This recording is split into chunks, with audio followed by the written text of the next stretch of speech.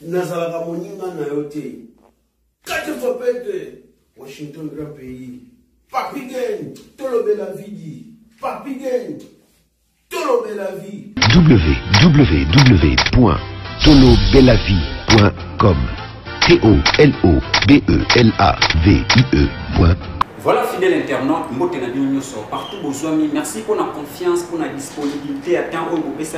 puis pour la fidélité. yango toujours esala force na biso na tolobela vie bosabone bosabone mingi mingi na tolobela vie parce que biso tosololaka tobetaka mingi masolo ya mboka parce que sa masolo ya mboka tokolobela susu eloko moko te merci na 4 fois prêtre washington le grand pays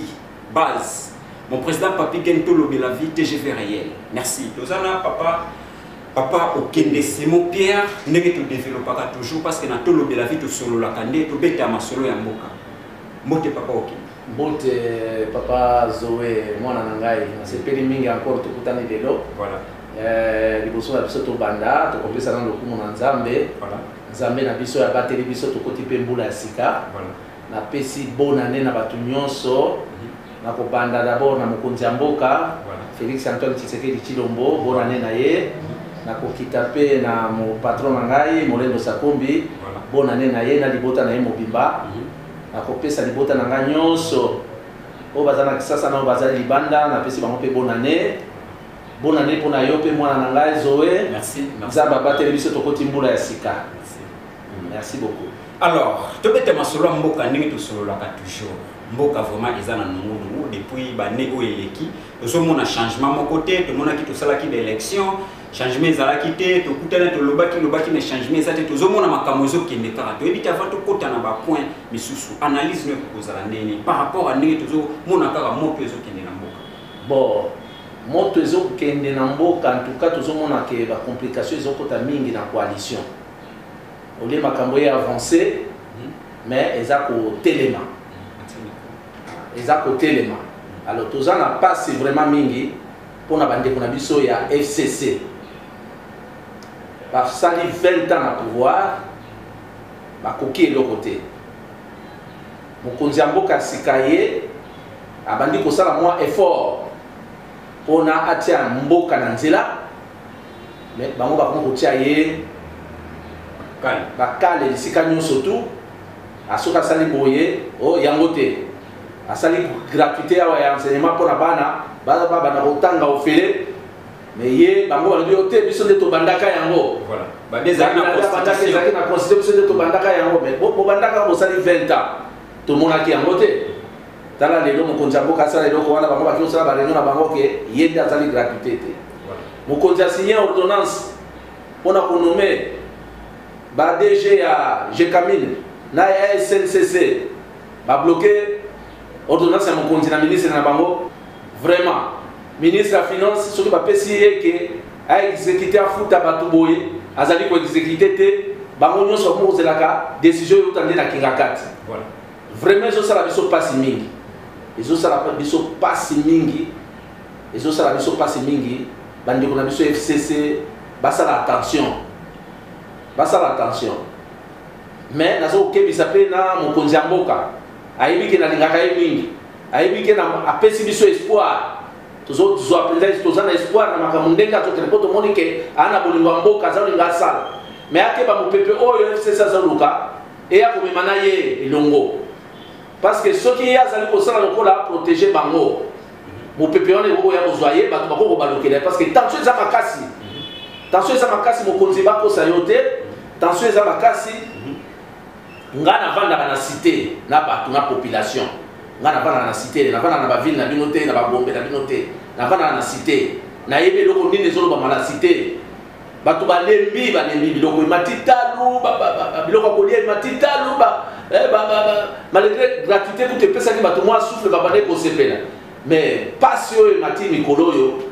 mokonziaelema na point wana papa ah. papa totema na point wana biloko emati makasi kutu omoni dollar ezomata se komata toyebi te oki kotalisa bana mboka nini na point ya solo zoe meme dollar ezomata lelo tokumi na ba 17500 kote mosusu kutu namoni 18 ah, donc eh, tokoma okende vraiment toyebi te toyebi te mokonzi ya mboka tika kokangama na bato wana bakochangeaka na bango te bakochangeaka na bango te bazosala biloko wana ba complicité na balibanais na baindien na banini bango nde baza bato na bango peut-être oyebi omoni makambo ebele ezali ya koloba kaka na, na media boye te ngai ndeko na yo nayebi makambo ebele oyo ya oyo bato wana basalaka na bato lokola bato ya balibanais na baindien Eh, bana ba ba ba baza ba complicité bazo sala ko ba compliquer nani ba ba ba ba musala na yo ndenge oza nango posa na yo ndenge ozo ndenge obongisa parce que chef de l'état yebi na yete que nyonso na peut-être ndenge ezo leka eza eza théâtre te yebi akoki koyeba ngo te bon mpo na mokonzi ya mboka bon peut-être apesi peut-être azopesa bango temps peut-être azo croire que bakoki kobongwana azokanisa bako changer mais nakoyebisa mokonzi ya mboka bakabila na bato na ye bakochangeaka jamais na politique pouvoir pouvoir o oh, politique ya kabila na bato na ye bakochangeaka jamais bakochangeaka bango alors ye aza na espoir peut-être mokonzi ya mboka aza na espoir que peut-être bako kochanger mhm. aza na espoir wana orki bakosha aza na bango inane te au contraire makambo makambo ya mabe nde ezoya biso makasi ah, makambo ya mabe nde ezoya makasi par rapport a ndenge ye kuta abandaki na ebandeli bakomi sikoyo kobloke ye mpenza Donc a espere te na bato wana toluka solution mosusu toluka solution mosusu sikoyo toyei toyeba nani aza nsima vraiment ya fcc mais fcc moto aza kodirige yango ezali kabila nsima kabila ezalaka nani mais nsima kabila nani yango akozala lisusu wana papa ye nde autorité morale aza autorité morale parce que bato balobi nsima kabila eza kagame yango tozomona nyonso wana yango félix aza na mot à dire te parce que soki meme ake na rwanda azalaka naye kosola bien na président ya, ya, ya rwanda donc toyebi te yango ezolakisa ke nsima ngai na croyaka na makambo wana te nalinga kocroire mingi na makambo ya barwandais wana te soki biso bakongole tolingi tobongisa mboka na biso tokobongisa yango oyoki mais kabila soki asalaka ba, ba, ba, ba, po banani bakombine naye na kagame ah, papa un jour akosutuka akosutuka nazoyebisa na peuple congolais nazoyebisa na peuple congolais monguna na biso na mboka oyo eza kabila na bato na ye ya fcc na bato oyo baza kolanda ye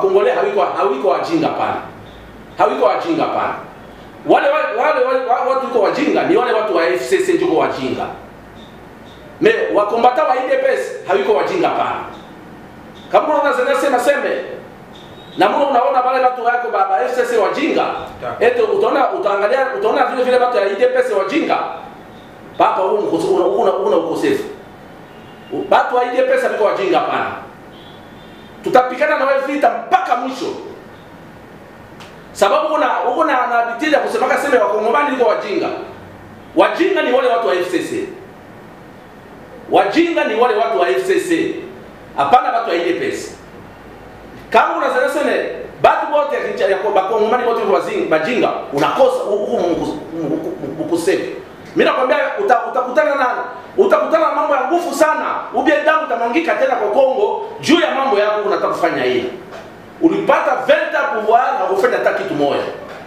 Ikala kimya, upumuzike, uende ikala na bibi yako, waache wakongomani watengeneze mgini yao.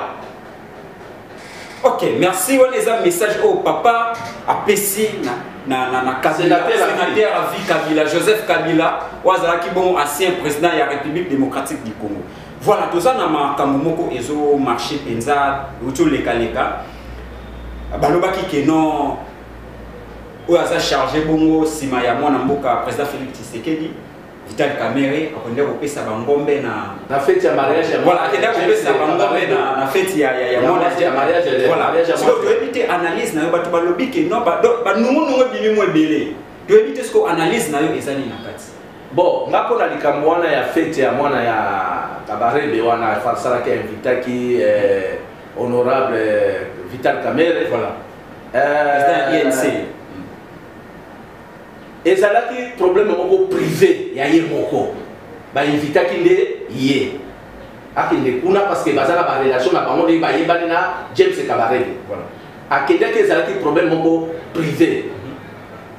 peut-être ngai nayebi te comment ake na fete privé ya mariage voilà. ya moto bayebani na ye ndenge nini akozwa micro aloba na mariage un invité mm. là c'est un point d'interrogation voilà. or okakoki okende mariage wana mm. asepeli mm. asali makambo na ye avandi na kiti alobi mpe eloko moko te elingi esala problème te maloba oyo omoni maloba oyo soki ezobima na monoko il faut kozala mingi na sagesse maloba peut-être oyo abimisaki que voilà na yawa eh, bon na bapesi ngombe et puis eh, eh, président surtout likambo wana nde ezosala bato mpasi mingi président félix tshisekedi eh, il fallait koinvite namoni eh, regrete ndenge koinvite ye te obengi eh, ngai bobengi ye te eloko wana est ce que président président président président eh, félix tshisekedi akozala na mpasi soki bainvite te babengi Eh, président fait non vitali ngai na ba idée na ngai ndenge namonaki façon ya bandaki koloba mhm. ezalaki peut-être mpo na kosala mwa ambiance na salle voilà. mpo na ngai mhm. nakokota na baintention na ye te mhm. mais namonaki lokola alingaki asala mwa ambiance na salle nde alobaki bongo parce que kabarebe aza conseil spécial ya, ya kagame kagame ayaki na feti wana te felix sekedi aza mpe président de la république eh, aza président de la république babengi ye mpe na feti wana te mhm. mais je sais que eza baimagination na ye moko peut-être alingaki asala mwa ambiance na sale eh, kozanga mwa eh, mais eh, ebeti mabe ebeti mabe sikoyo éclate mabe voilà lele moko ifo koreconnaîtraka soki mwa mabe osali mabe ifo quand même koreconnaître okoki kopesa nde kaka merci ndenge na ndenge nga nayebeli ye parce que nga nayebi ye nayebi ye pour tofandaki na ye omoi à peu près ba 5 ans nga na ye na bapartir bano 90 ti bano na 5 tozalaki okolabore moke moke bon nayebi kaka azalaka moto moko alingaka kosala mwa baamusement alingaka kosala mwa asepelisa bato ezalaka ndenge na ye omonaka okonamonaka liwe bon azalaka mwa Eh, bon nga mpona ngai ezali peut-être alingaki asala lokola anime sale mais te na ndenge ya mabe epesi pitopale eh, kopesa bangombe wana e, e, e, touche mpe bato bon epesi bon wana kana mpo mokoloba bato ye aza na bangombe na ebele eza ya ye moko ya ferme na ye soki ye apesi ye bo ngai mabe nde abimi lokola vedete na kati ya mariage il fallait pas azwa micro te hmm. fallait avanda nde na kiti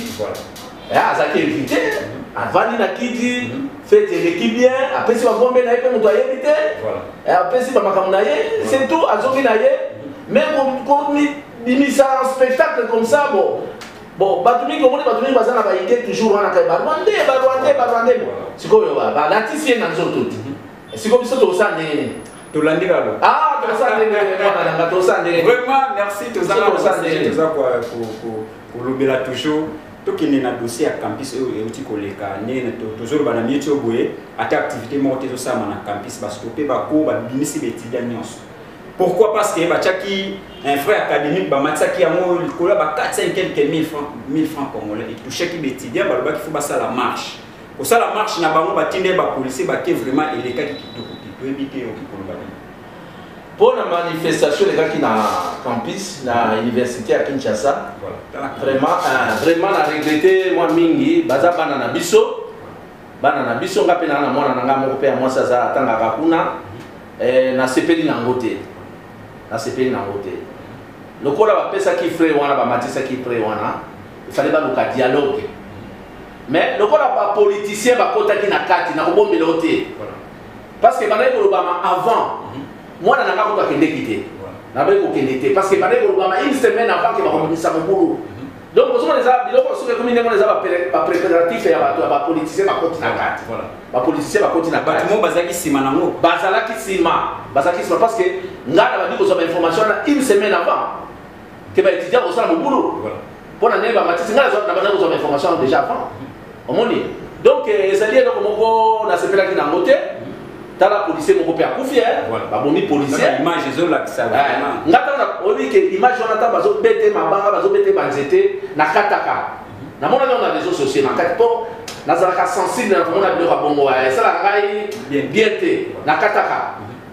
Donc na sepeli te ba étudiants bako ko se comporter ti na niveau ya ndenge wana te.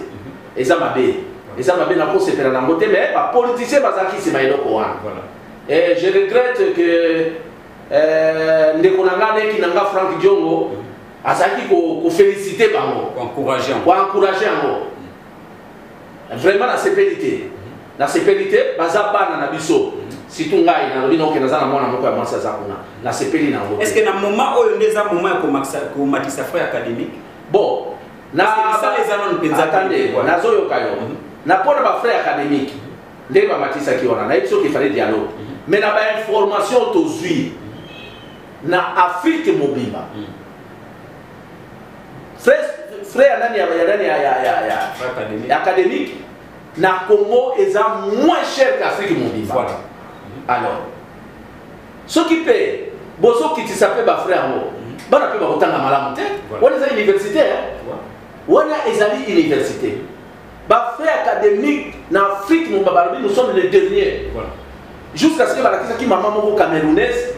ntango alingaki lokomisa mwana na ye na, na polytechnique ntango apesi ye monta ya, ya, ya, ya, ya frais abi te mwana nga akotanga awa te mhm. akotanga awa te amonaki frais eleki moke mingi alors baétudie fale bo peut-être communication nde etambolaki te voilà. Il fallait qu'on yebisa ba étudiants que voilà awa na epa na bino nous sommes les derniers mhm. mais soki mpe bafrais de fonctionnement parce que mbongo wana ezalaka kaka mpo bato batiaka bapoche te eza bafrais ya baacadémique bakosomba babiloko boye kobongisa alors il fallait bakofaire passer la communication kodialoge na baetudiant boye bosala mobulu te talatalatatala makambo ezali boye epuis awa biso tozali bato ya suka na afrique oh, tofutaka moke Parce que eza université papa. Eza université. Et puis bazela nalandaki euh, président de la République aprometaki bango que dans deux ans trois ans kotiela bango bourse. Voilà. Pourquoi baza baza baza patienté? Mais ce que problème suite tolandi bien selon analyse nde tozosala analyse fallait ba préparer bango fallait ba préparer bango que non date boye frais ekomata mais ebimi kaka brisque boye c'est ça yango nalobi communication ye communication elekaki te il fallait ko preparer bango ale basaleli kaka butu mutu mutu epe mutu wana oyo eye nani oyo alobaka ayebi kongo ayebi kongo osimisa toma luwaka ah, alobaka ayebi kongo ayebi kongo se pourkoi nayebisaka yo oleki na ngai kozala na badiplome ebele eh? eh? kozala na badiplome ebele eh? eza bwanya te omoni kozala na badiplome ebele ngai nayebi boye nayebi boye soki sagesse ya bonzambe mayele ya bonzambe boyebi ya bonzambe eza na yo te oza nini okozala ata professeur na badiplome oyebi tata moko oyo ali eliki ya mbokolo eliki ya mbokolo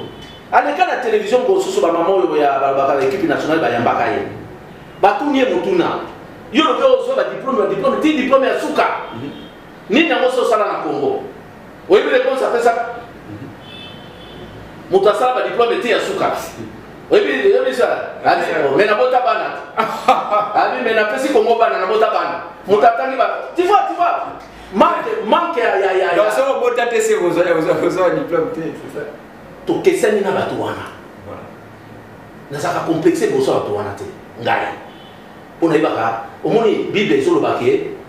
bato wana baza babeti bango, ce sont des hommes animales. Donc bakatisa biso baza ba diplôme ebele, baza batangi mingi baleki bato oyo batangi mingi te ce qu'on a réaction oyo asalaki wana est ce que eza vraiment chef de l'état mpe azala content nango to papa okozala content asali réaction mabe asali réaction moko ya mabe il fallait atravaille yango bwanya azwa mayele ya kobenga communauté meme estudiantine ya kosolola na bango vala tolingi tosala boye boye boye boye mpo na koluka kimia mais ah, orgueil omona eloko moko ezalaka wana lolendo orgueil je connais je connais eh, je connais alobaka mpo je connais le congo eh, alobaka je connais le congo je connais je je je je ngai nazoyebisa yo na mboka oyo na experience ngai naza nango ngai parce que ngai nalandi bavie bavie lokwa baideo songo wana bapapa etienne tshisekedi nazalaki kolekole na bango kobanda 89 ti lelo nakoma mayele mwa ata bato balobaka bazala badiplome ebele ebele ebele wana ngai namonaka mayele eza te mayele eza te Kobongisa Congo eza ba biloko wana bango basalaka salaka wana te. Totalaka ba mboka mingi, eh, totangaka, tolandaka ba ba ba histoire ba mboka ebele. Omoni ba biloko na bango wana balobaka ba ba macro économique, ma macro économique, macro. Banda ba banda macro économique. Yo mona eloko nini ebonga? Ka bango moko bamibongisa. Eh? Bamoni ba Oyo macro économique ma. Papa, mboka na biso oyo nazosenga sikoyo yango na mokonzi ya mboka. Papa Felix, Père de la nation luka o relancer agriculture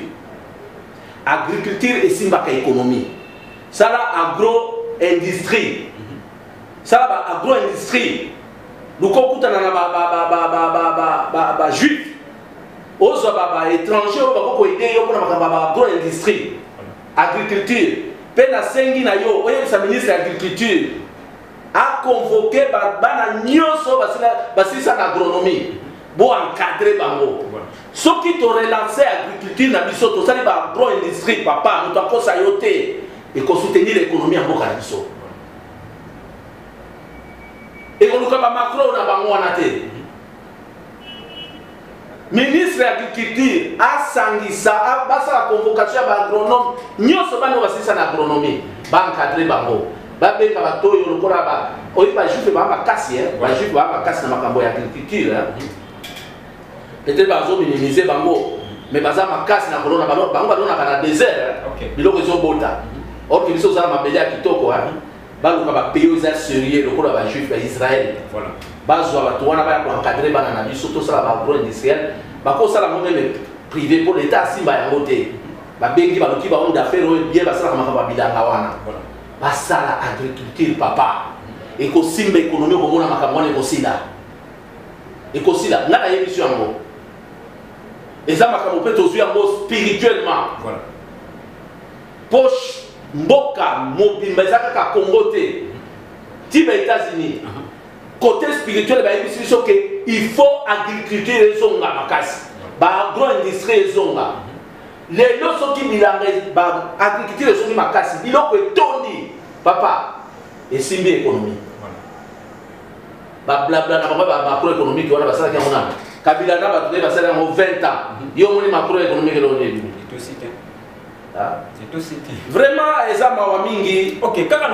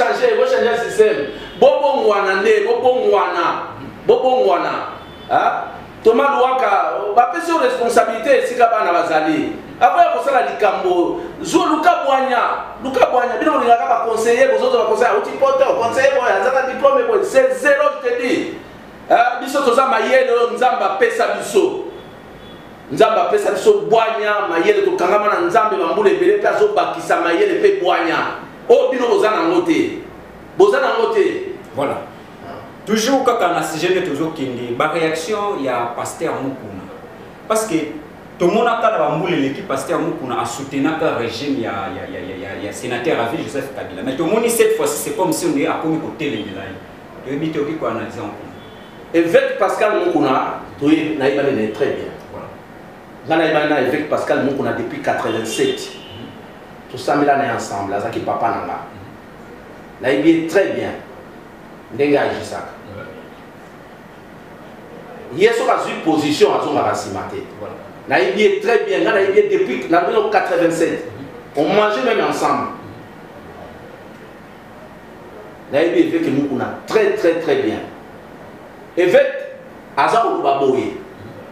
soki asutenaka kabila c'est parce que kabila azalaki na pouvoir Eglise et soutenaka opposition te. Voilà. Selon ye. Voilà selon. Voilà. Nga na landaki ye. Mhm. Po basi batuni ye mutuna wana. Mhm. Alobi ke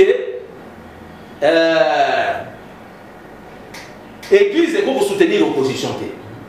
Tant au pouvoir et qu'est pas mutu boye, Eglise a obligé à soutenir mutu mutu wana. Kabila aza sous président de la République te.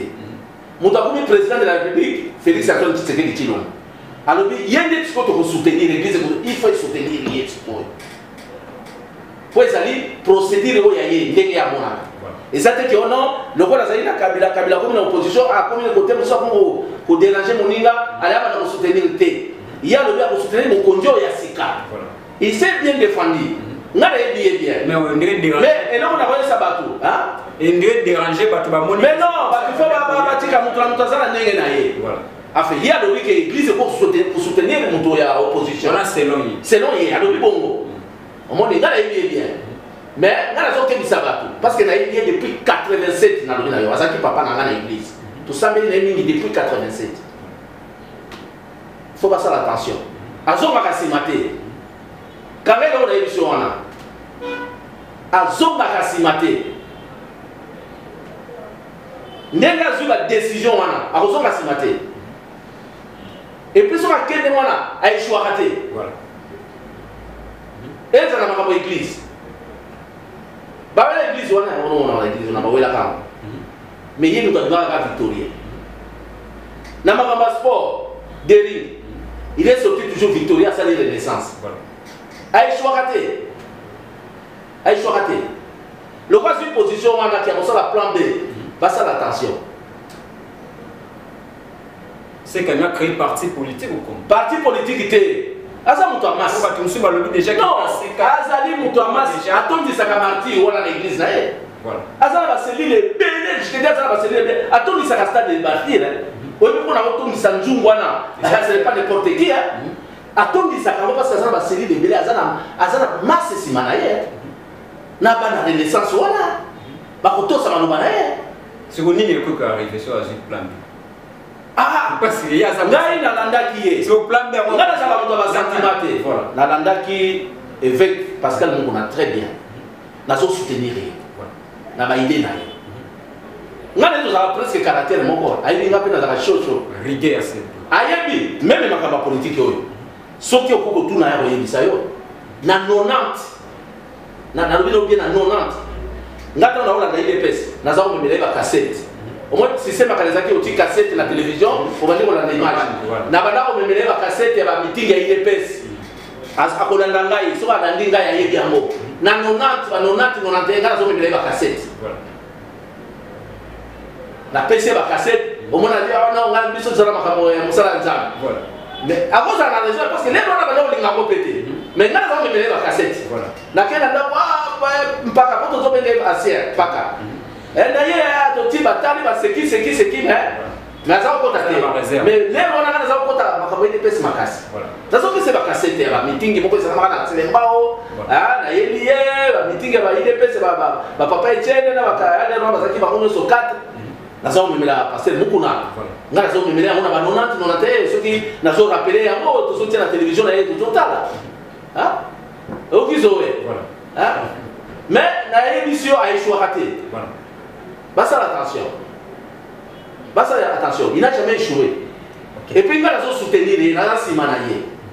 nayebi te soki nakoluka moyen tokutana mpo na soutenir ye nasala délégation moko to soutenir ye ok ok merci toleki mpo wana tolobela sikoyo point ya roberwa po tokomoke mpe moke moke na shi tolobela na point ya roberwa puis tokozonga na point ya ya ya ya ya sans rival oyo aza journaliste ya diaspora bauti kobeta tolobi ya dossier ya ruberwa ruberwa ya ruberwa obi eza nango normal eza non ruberwa makambo na ye bo bato bazo komona yango mpe lushe euh, tokobakisa boye ruberwa makambo na bango ya barwandais banini wana epuis ya banda aza na décentralisation depuis voilà na ministère wana kangama kangama kangama kangama bo bakoki kochange mpe ministère mosusu omoni elingi esala mwa bien Sikoyo omoni meme yango na ngai azoba kabila aza bien te bon yo oti motu kaka na décentralisation soki eh, na réforme soki eh, réforme eza mpona baréforme soki institutionnel mais tu vois bato bakomo bakosoupçonne kaka oh, comment motu wana d'abord toza na aza élément moko doute eh, aza élément moko toza na doute tanto tozomona rwandais tanto bwalo bazopesa kaka ministère wana pour préparer azoprépare terrain ou bien ndenge nini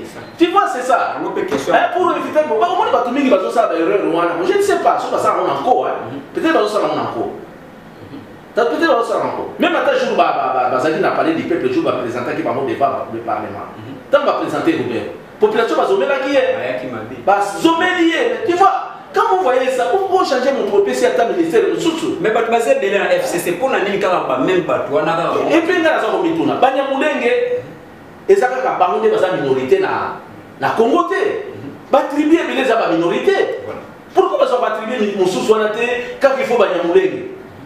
Soki ba gagner na ba élection te, bazala libanda. C'est ça. Bazala libanda mwana na ngai. Ba tribu eza ebele, ba tribu eza ebele. Bino boyebaka ba tribu mosusu nakotangela yo lokola ba tribu lokola banani awa. Eh, ba ba ah, ba ba ba ba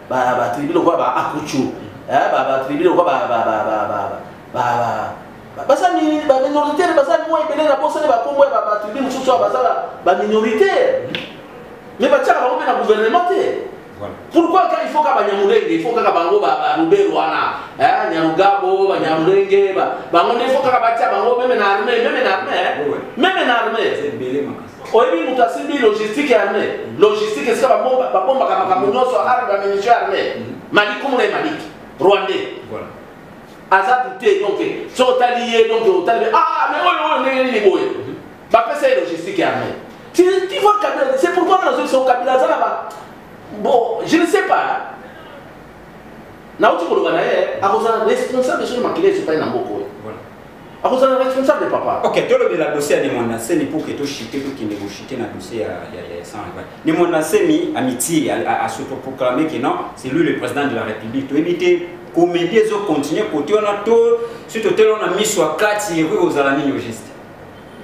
nalandaki mwana nse mhm. nalandaki ye très bien papa wana nakomi kodute na na mental na ye na mutu na ye nakomi omona mutu na eza bien te moto oyo azali moto malamu akoluka makambo oyo aza koraisonne me ye alobaka aza spirituel moto mhm. aza na spiritualité akoloba ndenge azoloba wana te ça je te dis euh, parce que l'esprit que nous recevons mhm. oyo toyambaka eutaka likolo eza na puissance moko okoki koloba biloko oyo alobi wana donc faut ozala na maîtrise ya aza na maîtrise te aza koloba makambo moko azosala yango lokola baaventure mhm. bon awa ye alobaki akomi président autoproclame président de la république boye mosala yango azosala yango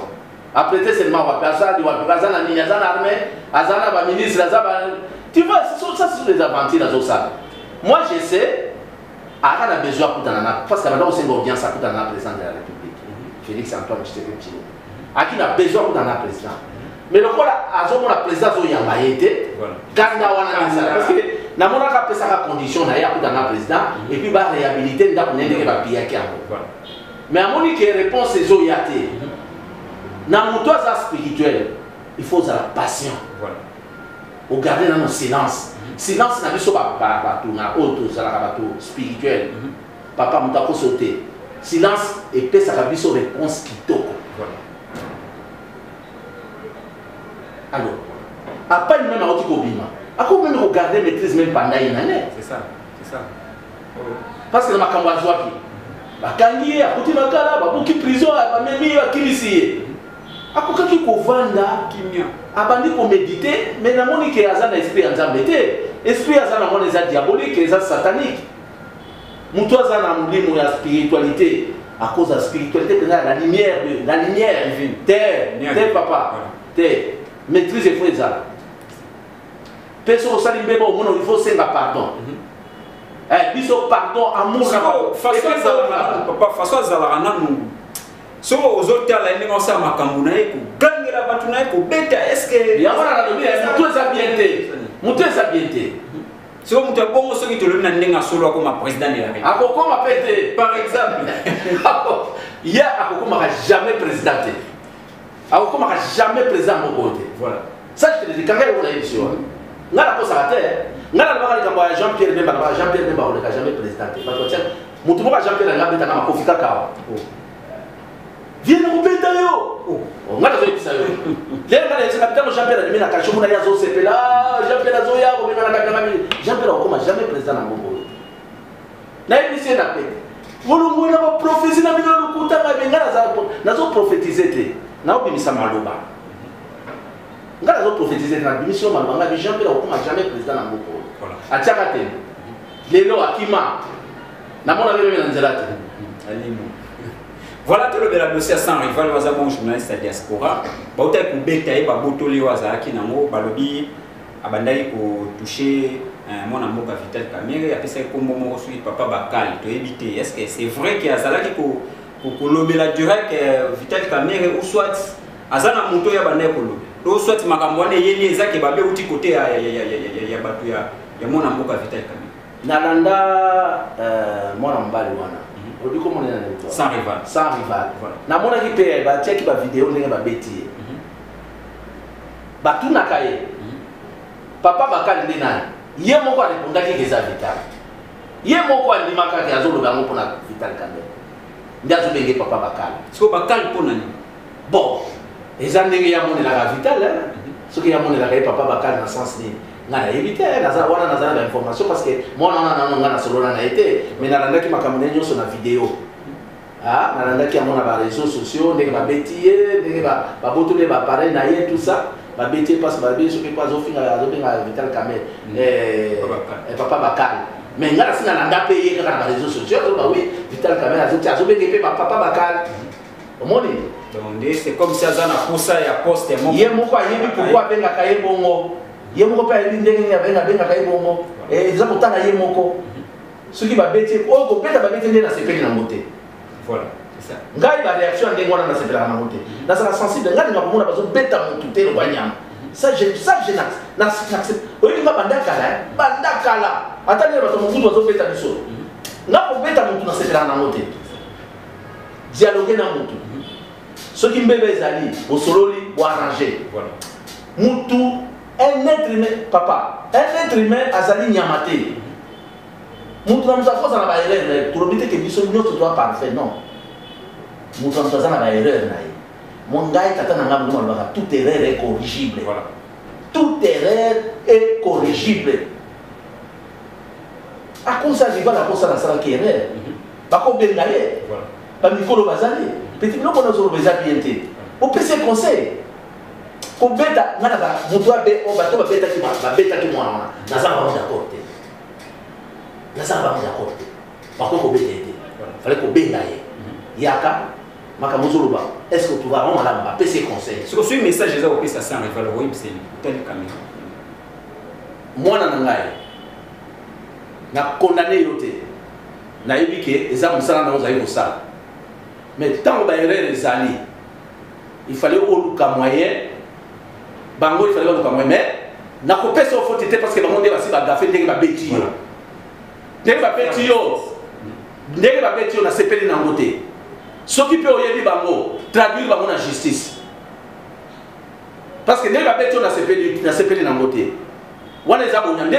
systeme oyo mokonzi ya mboka félix antoine tshisekedi tshilombo aza koboya azosenga biso bakongole tozala na bolingo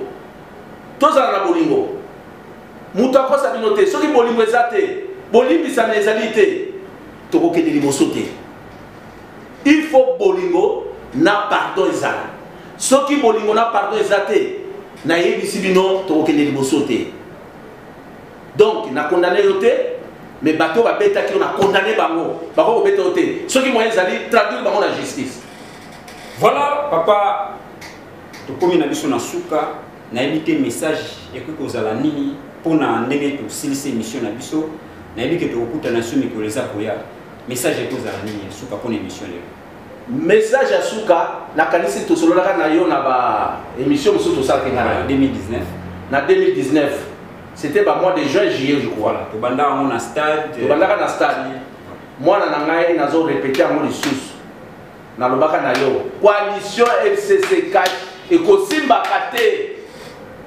ekosimbaka te nayebisaka yo yango nayebisaka yo ekosimbaka te otunaka ngai mpo esimba ilfo nini nayebisaka yo naza kosadrese na bino bato ya fcc senateur à vie kabila kabange sangana na bato na yo soki olingi Makambo esimba senga pardon na bato na yo bosali mabe mingi papa bobomi mingi bobomi bato mingi mitema eza ya kobeba baza banyama te baza banzambe te keno batika boye te ezala bongo te ezalaka bongo te ntango yango nazoloba kaka kai ya une erreur fo erreur nyonso eza corrigible